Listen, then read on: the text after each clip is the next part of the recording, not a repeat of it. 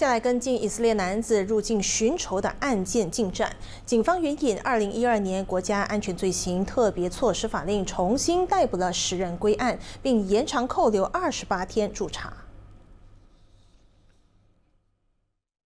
Keseluruhan tangkapan kita ada 18 keseluruhan ya, 18 daripada 18 ini 10 masih dalam tahanan kita. Tapi tahanan ini kita tahan mereka ni di bawah Seksyen 130B jenayah terancam.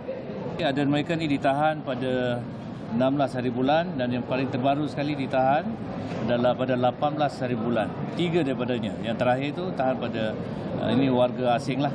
Warga asing itu tahan mula pada 18 hari bulan dan tempoh tahanan selama 28 hari.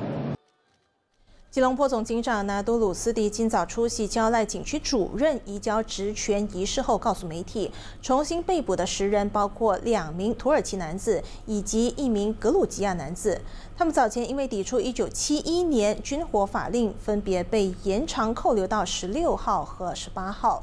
警方已经援引有组织犯罪条文扣查嫌犯。鲁斯迪证实，三名外籍男子确实和案件有关，他们都是以游客的身份合法入境我国，但基于案件还在调查的阶段，他拒绝透露更多详情。